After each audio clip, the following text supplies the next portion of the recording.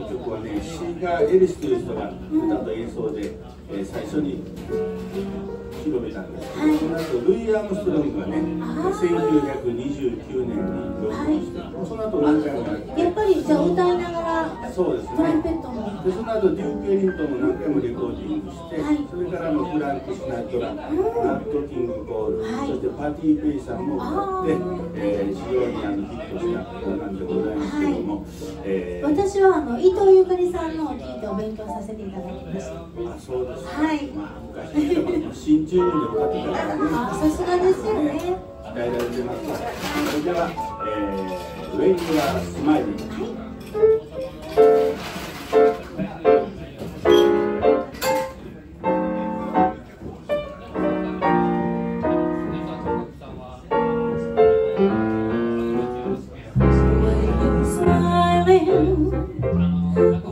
ざい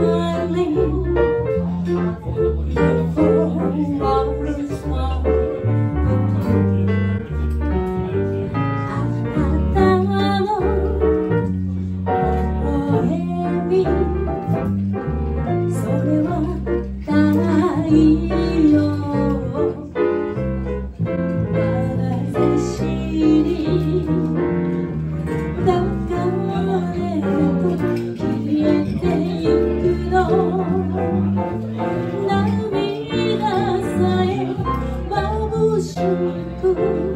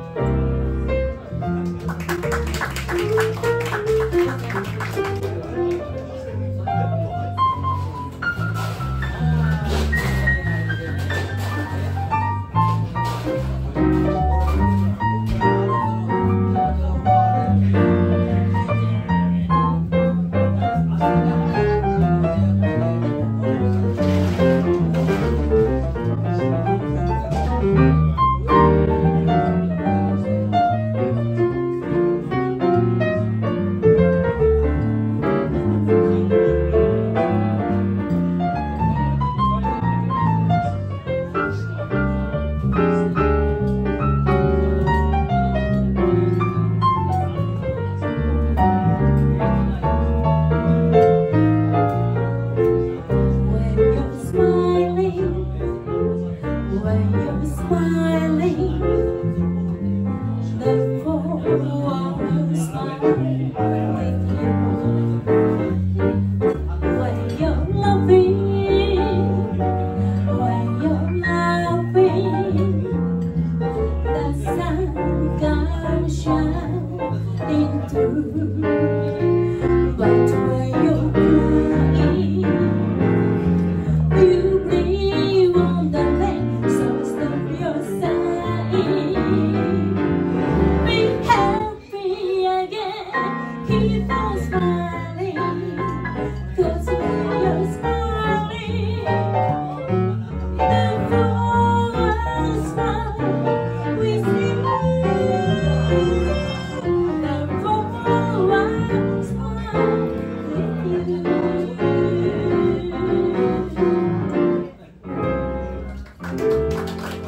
ど